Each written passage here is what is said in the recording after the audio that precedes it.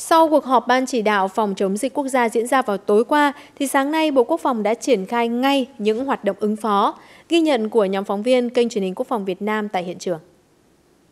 Ngay sau khi Hà Nội công bố chính thức một trường hợp dương tính với COVID-19, thì ngay trong đêm qua, à, Bộ Quốc phòng đã có cuộc họp khẩn cấp chỉ đạo Cục Quân y và Binh chủng hóa học phối hợp với các cơ quan liên quan tiến hành phun khử trùng à, trên địa bàn phường Trúc Bạch, quận Ba Đình, thành phố Hà Nội. Và trong sáng ngày hôm nay thì à, các lực lượng quân đội sẽ tiến hành phun khử trùng trên các tuyến phố như là Trấn Vũ, Trúc Bạch, Nguyễn Tri Phương, à, Châu Long, à, Nguyễn Trường Tộ để đảm bảo an toàn cho người dân sinh sống trên địa bàn. Từ sáng sớm, Cục Quân y và Binh chủng hóa học đã triển khai hàng loạt các xe tẩy độc phun khử trùng cùng hàng trăm cán bộ chiến sĩ tham gia. Hoạt động phun tẩy độc có tác dụng tiêu diệt virus trên các bề mặt, hạn chế sự lây lan của virus.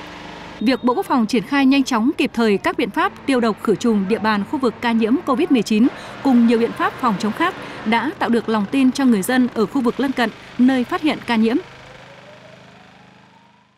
Tôi thấy là Bộ Quốc phòng như thế là rất chú đáo và đã đi uh, uh, phun khử trùng cho dân ở toàn khu vực, không những ở phố Trúc Bạch và phố Trường Tộ rồi chợ Châu Long. Như thế là cái chính sách của Bộ Quốc phòng như Đảng và Nhà nước như thế là rất tốt cho mỗi người dân để chủ người dân chúng tôi là yên tâm.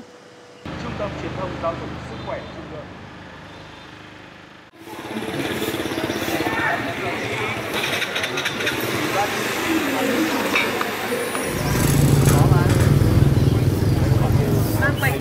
nói chuyện, ho hoặc khát hơi. Bệnh tiến triển nặng sẽ dẫn đến viêm phổi.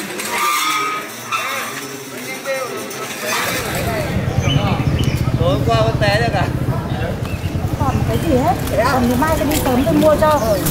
Còn à, đây là trứng này, ờ, rau này, lạc này, gạo này lên trăm sáu nhé. Và mọi người có thấy là các hàng quán ở đây rất là vắng vẻ.